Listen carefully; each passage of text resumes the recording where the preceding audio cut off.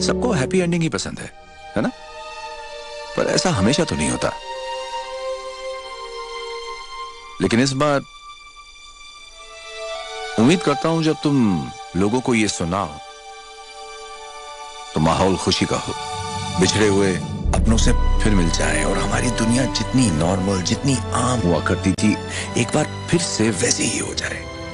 अगर वो वैसी कभी थी तो उफ, ये दुनिया। और ये ब्रह्मांड। अगर दस साल पहले तुम ये कहती ना कि इस ब्रह्मांड में हम अकेले नहीं हैं तो मुझे ताज्जुब तो नहीं होता, लेकिन फिर किसने सोचा था कि ये सब देखना नसीब होगा? अच्छी बुरी जैसी भी है। हमारी ये कहानी अब हमारे बच्चों की विरासत है। और हमारी मॉर्गन को इसी में जीना सीखना होगा।